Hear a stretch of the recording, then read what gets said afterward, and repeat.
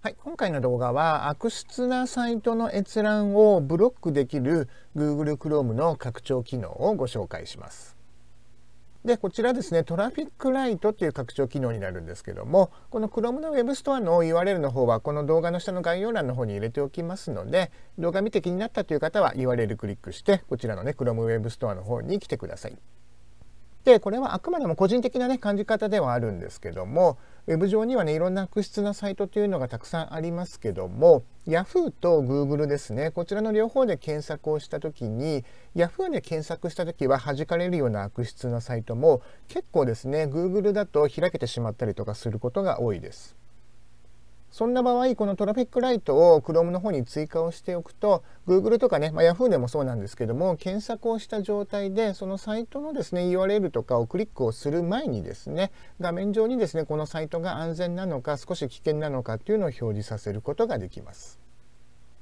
で、Chrome へのインストールの方はこちらの Web ストアに来てもらって、この Chrome に追加というところをクリックをすることによって、Chrome の方に追加することができます。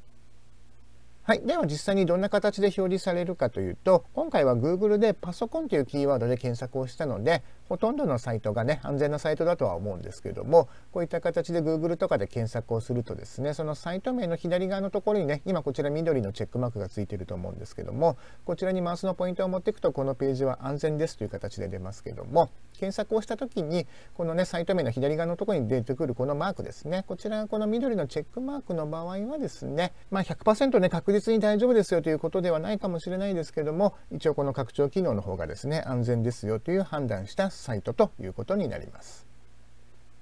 はい。といったことで今回の動画ではトラフィックライトという Chrome の拡張機能を紹介しましたけども、そういったですね、怪しげなサイトっていうのは誰しも開きたくないとは思いますし、あくまで個人的な感じ方ではありますけども、先ほども言ったように Yahoo と比べて Google は比較的ですね、Yahoo で弾かれるようなサイトでも普通に開けたりとかしますんで、こちらの拡張機能 Chrome の方に追加をしておけばもちろん100%確実に防げるというものではないですけども比較的ですね安心してウェブサイトを閲覧できるんじゃないかなと思います。